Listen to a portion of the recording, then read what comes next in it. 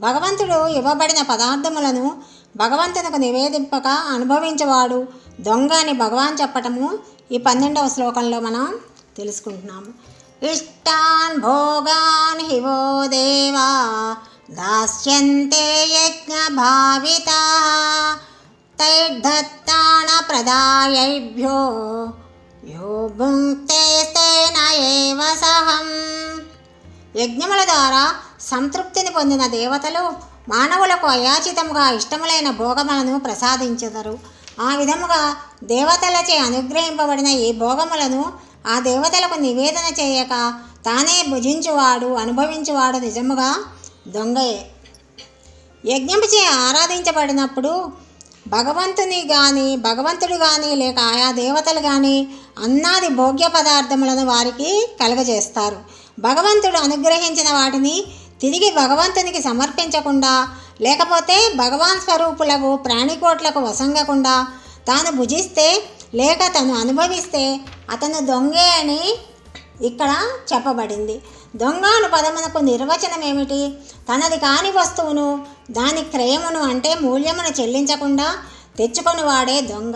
అన్నము మొదలగు భోగ్య వస్తువులు భగవంతుని సొత్తు. అవి మనవి కాదు.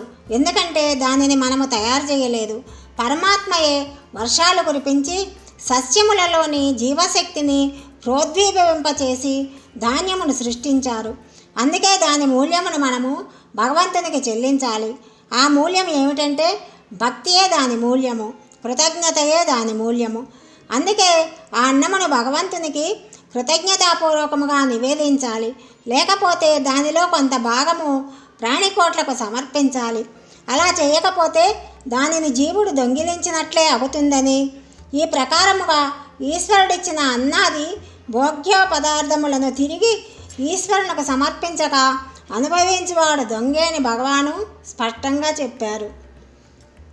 అయితే ఇప్పుడు ప్రపంచంలో ఎందరు ఈ ప్రకారంగా దైవానికి నివేదన చేస్తున్నారు? ప్రపంచవాసుల దృష్టిలో మనుడి మనుజుడు ఎంత గొప్పవాడైనా విద్యావంతుడైనా ధనవంతుడైనా రాజైనా సరే భగవంతుని దృష్టిలో దొంగ అనిపించుకుంటే ప్రయోజనం ఏముంటుంది అందుకే అలాంటి స్థితి కలగకుండా చూసుకోవాలి. ప్రపంచంలో దొంగకు శిక్ష విధించబడుతుంది. అలాంటప్పుడు దైవ వస్తువులను స్వార్థమునకు వినియోగించుకొను.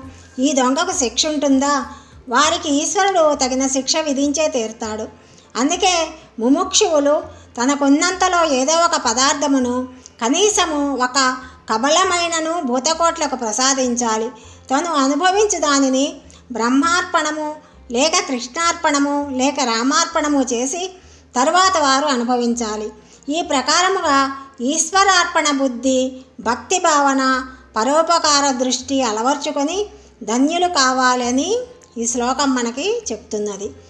ఈ విశ్వం యొక్క వేర్వేరు ప్రక్రియల నిర్వహణాధికారులైన దేవతలే మనకు వర్షము గాలి పంటలు చెట్లు చేమలు ఖనిజములు సారవంతమైన నేల వంటివి ప్రసాదిస్తారు.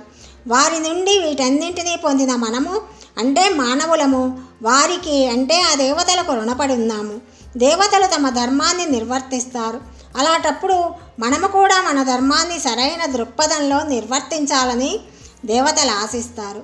దేవతలందరూ ఆ దేవదేవుని సేవకులే కాబట్టి ఎవరైనా సరే భగవంతుని అర్పితముగా యజ్ఞం చేస్తే వారందరూ ప్రీతి చెంది ఆ జీవాత్మకు అనుకూలముగా ఉండే భౌతిక పరిస్థితులను కలిగించి సహకరిస్తారు.